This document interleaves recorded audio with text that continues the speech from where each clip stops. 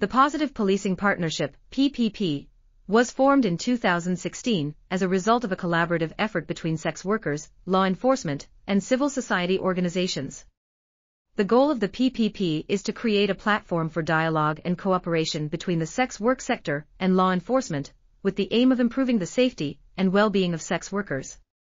The PPP works to build trust between sex workers and law enforcement through capacity building initiatives, such as providing training to SAPS officers on how to conduct respectful and non-judgmental interactions with sex workers. Additionally, the PPP has also worked to develop a comprehensive policy framework for the protection of sex workers' rights.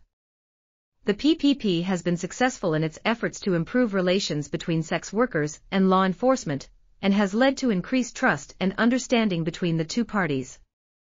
This article was authored by Donna Maree Evans, Marlise L. Richter, and Munyaradazi Katumba. We are RTCL.TV, links in the description below.